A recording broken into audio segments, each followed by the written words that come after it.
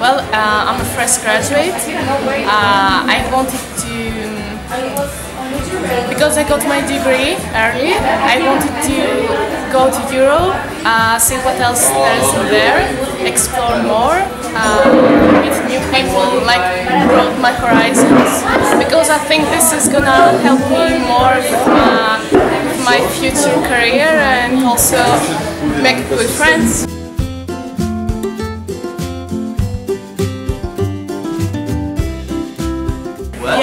Uh, actually, in Erasmus you can meet a lot of new people, new cultures, and get in touch from people from everywhere. Yes, you called me party. Yes, I will, I will.